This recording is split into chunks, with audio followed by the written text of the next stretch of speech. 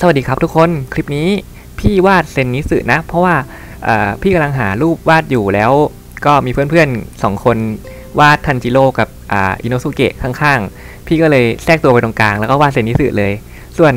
ก็เมื่อคืนน่ะมีคนมาให้กำลังใจเยอะแยะเลยนะครับ ขอบคุณเพื่อนๆทุกคนที่ให้กำลังใจผมแล้วก็เข้ามารับชมนะครับ